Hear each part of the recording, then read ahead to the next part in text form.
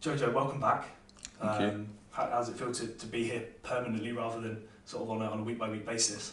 Um, I'm much more at ease now. Um, it's something that I've thought about for a while, and um, it's definitely the right decision for me.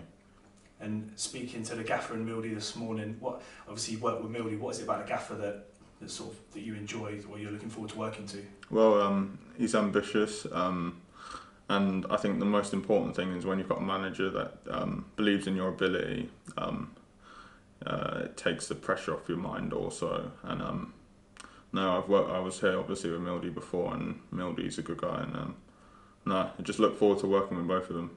And uh, what about Rennie as well? Uh, you must have come across him at, at Bristol City. Tell us a bit more about your relationship with him. Yeah, well, um, obviously Reg was with the goalkeepers for a while, um, so I've worked closely with him, so he knows what I'm about. Um, I know how he works, so um, yeah, that's good.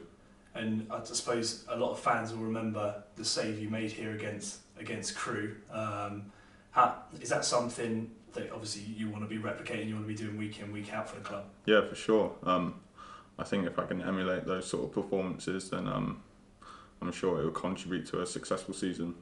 And what was it about the club that made? Because like I say, you could have could have gone sort of anywhere really. What what was the, the selling point about Swindon that the one made you come back? I just felt at ease when I was there. I just really enjoyed playing. Um, I think that was the most important thing.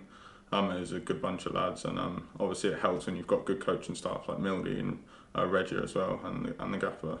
So um, yeah, just a no-brainer. And sort of what your thoughts on potentially, depending on the sort of government uh, announcements later in the sort of coming days about having fans back and being able to play in front of, okay, we don't know how many, but at least some fans at the ground after not playing in front of them for however long. Yeah, I think that'd be really good. Um, I think they deserve it. It's obviously must be frustrating for them not to watch a football game, but um, no, when it's safe to do so, I'm sure the ground will be rocking when they're back in.